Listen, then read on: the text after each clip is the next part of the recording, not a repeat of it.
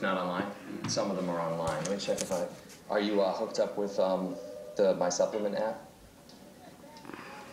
No, I, I just would like to know if you have this one installed and buy it. Oh, okay, let me see my, Remestic Institute. let Uh, me see if it, might have been in store, but I've got, if we could type that in, it's called Dandelion.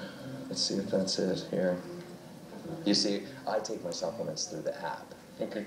Do you know? Because see, the front of the phone has this little hole right here. If you download them and you pay for the service, then you can grasp onto them and just take the supplements directly.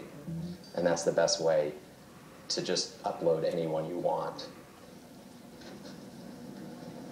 Did the fund give you a pill? Yeah, yeah, yeah. You can get vitamins, supplements, and I, I get my supplements that way. So take this guy. That is a That way, once you you know load in the whole thing, you can uh, take all your pills that way. I'll go see if I can get you the oils. Okay.